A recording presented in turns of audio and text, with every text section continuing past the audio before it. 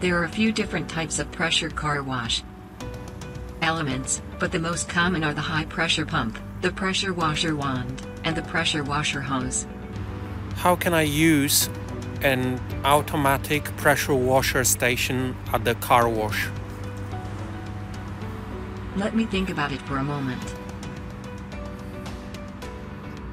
To use an automatic pressure washer station at the car wash, first select the desired pressure and wash cycle. Then, drive your car onto the wash platform and stop when the sensors indicate that you are in position. Once the car is in position, the pressure washer will start automatically and will follow the pre-selected wash cycle. When the cycle is complete, the pressure washer will shut off automatically and you can drive your car off of the platform. Here's instruction how to use a car wash. First of all, you have to park your car inside a bay. Here's the bay for a car wash.